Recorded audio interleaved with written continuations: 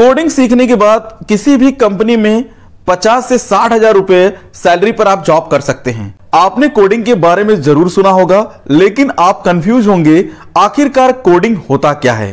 आज हम आपको बताने वाले हैं बड़े ही आसानी से कि कोडिंग क्या होता है। मान लीजिए, आपको कंप्यूटर पर, हेलो कंप्यूटर का कमांड देना है। मतलब कंप्यूटर से आपको कहना है, हेलो कंप्यूटर आप इसे बोलकर या लिखकर नहीं दे सकते हैं। हेलो, कंप्यूटर प्रिंट करना है, क्योंकि यह आपका एक लैंग्वेज है।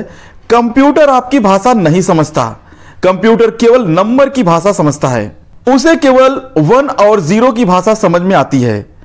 इन नंबर के अलग अलग कॉम्बिनेशन से ही कंप्यूटर अलग अलग कमांड लेता है।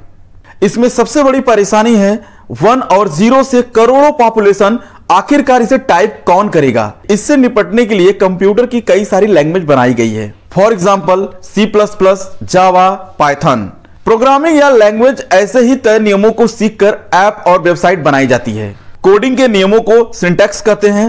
बेसिक से आप भी कोडिंग सीख सकते हैं। लेकिन आप यह सोचते हैं कि कोडिंग हम कहाँ से सीखें, कैसे सीखें, इसको सीखने में हमारी क्या फ़ीस लगेगी? कोडिंग सीखने के लिए बेस्ट इंस्टीट्यूट कौन सा है? कोडिंग आप किसी भी कंप्यूटर इंस्टीट्यूट से सीख सकते हैं। अगर आप इंटरेस्ट के साथ कोडिंग सीखना चाहते हैं तो इंटरनेट सबसे बेहतर विकल्प है आपके लिए।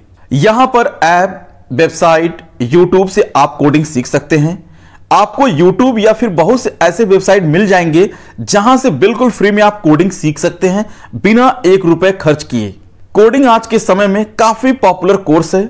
अगर आप कोडिंग सीख लेते हैं तो आप किसी भी कंपनी या फिर आप अपना खुद का वर्क स्टार्ट कर सकते हैं।